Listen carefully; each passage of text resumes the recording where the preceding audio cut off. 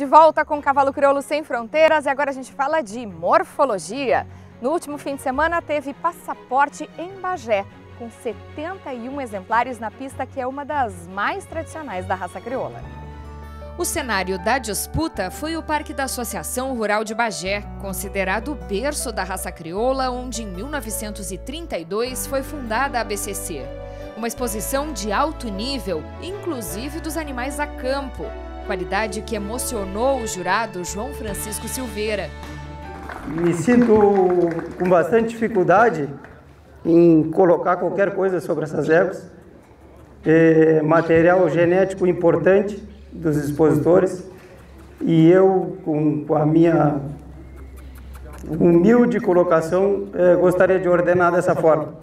Difícil tarefa foi escolher apenas oito representantes para a grande final da morfologia na Expo Inter. Uma pista muito importante como essa, uma quantidade de animais de extrema qualidade, um volume de fêmeas, a exposição a campo, é, com bastante trios, com éguas maravilhosas, com matrizes importantes da nossa raça dentro de uma pista, todas juntas.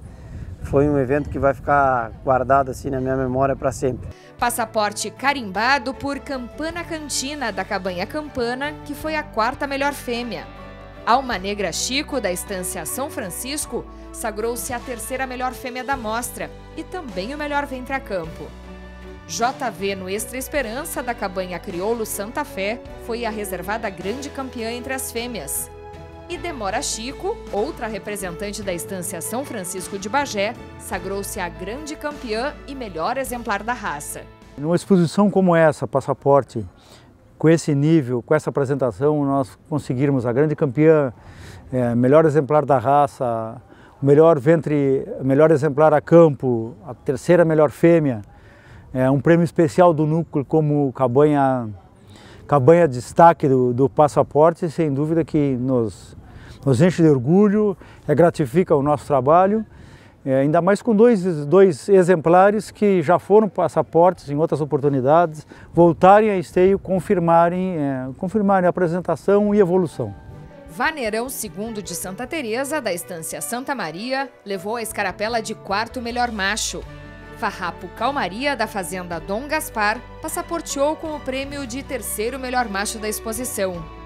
Já Balconeiro Flor do Tabuleiro, da Agropecuária Tabuleiro, que foi terceiro melhor macho da Expo Inter em 2014, garantiu novamente a presença na final nacional da morfologia, com o título de reservado grande campeão do passaporte de Bagé.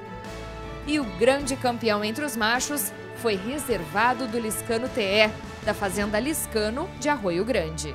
Muito forte em qualidade dos animais, bem como a quantidade. Realmente conseguimos uma união muito forte dos criadores e produtores daqui da região, bem como de fora, e conseguimos realizar um excelente passaporte.